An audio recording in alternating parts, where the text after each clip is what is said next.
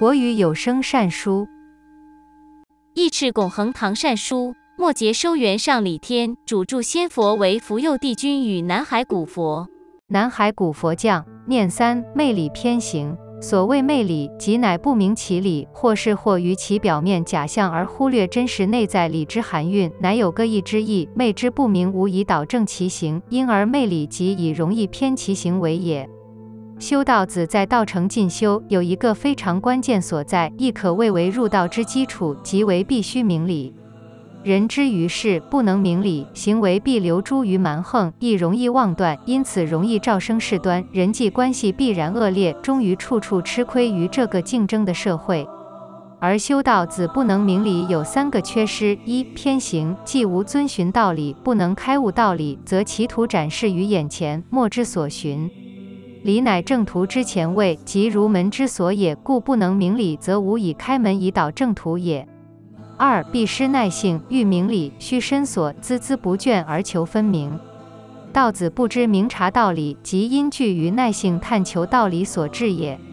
三智慧必必，修道的过程是一种心灵的净持，即为内性之修持，而心灵净化与人意境之升华密不可分，故智慧与否，可谓道成高下之判。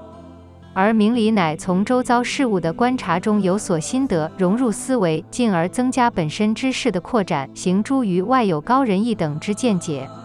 故道子不明理，智慧必失，一失智慧，则心灵之境界无以提升也。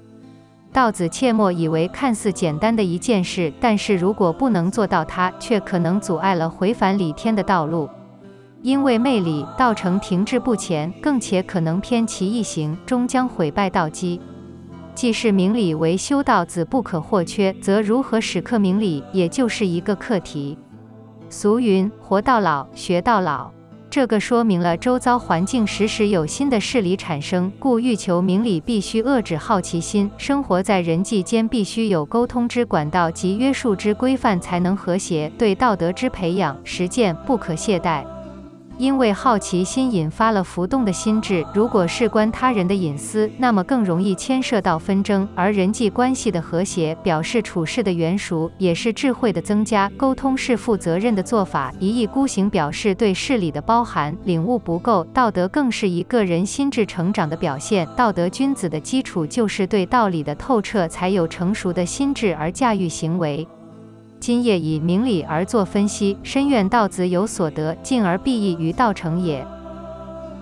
修道的过程是一种心灵的净持。若我们眼中还是有谁谁谁做错什么事情的话，那代表自己还没成长。因为真修道人不见世间过，一切都是自己的过错。望天下道中修办道人可以阅读此书，更加明白天心，更能度化众生。求道、修道、亲口办道、得道、成道，大家可以替自己与家人生前筑集灵修院、无极正道院或昊天子寿灵修院，也超拔祖先魂或有缘魂到灵修。秋怨忧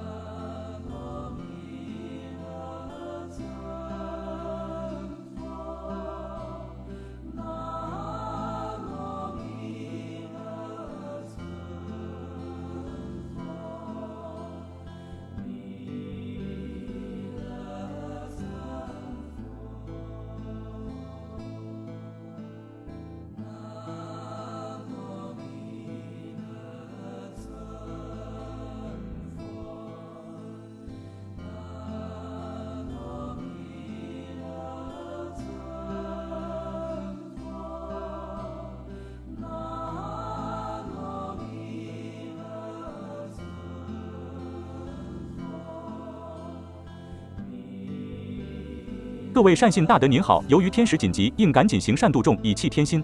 义赤拱恒堂有为新宗弥勒道场千佛墙五度母转经轮，期望众人有钱出钱，有力出力。相关资讯可至义赤拱恒堂网站详阅。